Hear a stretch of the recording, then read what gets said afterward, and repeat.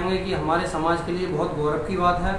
माता अहल्याबाई देवी होलकर जी का जन्म एक किसान परिवार में हुआ था। उनके पिताजी का नाम मनकोजी राव था और उन्होंने उनकी बहुत ही कम आयु में शादी हो गई थी। उसके बाद कुछ ही वर्षों बाद उनके पति का देहांत हो गया और कुछ टाइम बाद उनके ससुर जी का भी देहांत हो गया। उसके बाद पूरी बागडोर उनके हाथ में आ गई। उन्होंने अपने एक कम आयु में अपने राज्य को संभाला और उन्होंने बहुत मतलब अपने राज्य में जितने भी गरीब दलित थे, सबके जो शोषण होता था, उनको सबको दूर किया और समाज हित में हमेशा काम किए।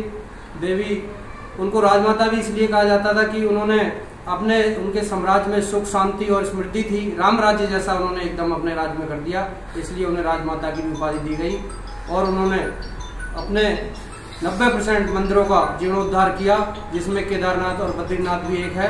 इसलिए पाल समाज बहुत गौरव के साथ उनकी जयंती को बड़े धूमधाम से मनाता है और हमेशा आगे भी मनाता रहेगा। और समाज के लिए, हमेशा उन्होंने सभी समाज के लिए अच्छे कार्य किए, इसलिए उनको माता की बुद्धि के दर्जा दिया।